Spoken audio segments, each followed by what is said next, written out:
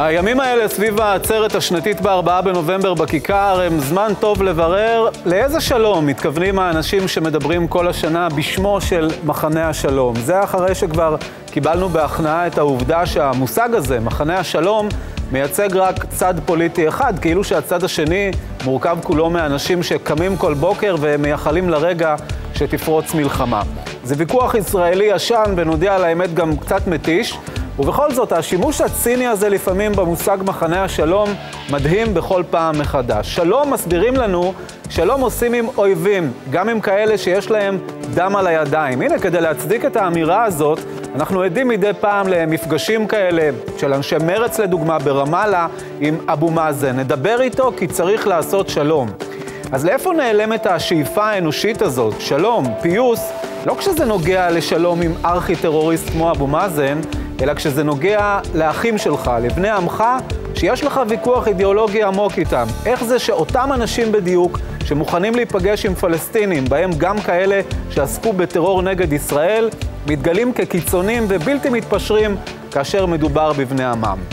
הנה מה שכתב חבר הכנסת מוסי רז על אסתר ברוט, המתיישבת מעופרה, שהייתה אמורה לשאת דברים אמש בכיכר. בעקבות דרישתנו, המתנחלת שאמרה שרצח רבין היה כתוצאה של הסתה מימין ומשמאל, לא תנאם.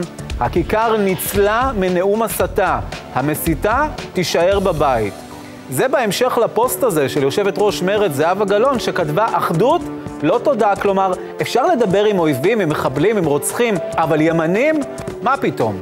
ואם אתם רוצים את הסיבה בצורה יותר מפורשת, אז הנה הפרסומאי אודי פרידן, די לגמגום, הימין והרבנים רצחו את רבין. נתניהו היה, שמע, עודד, הוביל, והערב בעצרת רבין הוא ושרה בשופינג בלונדון עם רגב. פיוס עלק, לא, הביתה. ואלה רק כמה דוגמאות של מי שרואים עצמם כחלק ממחנה השלום. איזה אבסורד.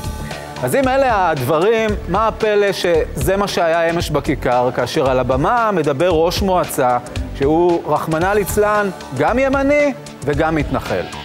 יחד עם זאת עלינו לשאול כיצד שומרים על האחדות ונמנעים מהחנאות בחברה שחיים בה אנשים המחזיקים בדעות שונות ומגוונות. ביהודה ושומרון חיים היום חצי מיליון אזרחים ישראלים. בוז בכיכר. במפלגת העבודה כבר הכריזו שלקראת השנה הבאה ייקחו על עצמם את ארגון העצרת השנתית בארבעה בנובמבר, ואולי עם כל הכאב זה הפתרון, שתהיה עצרת שמוגדרת מראש כעצרת פוליטית, כזאת שאנשי ימין לא ידברו בה, ומכאן שגם לא יקראו לעברם קריאות בוז.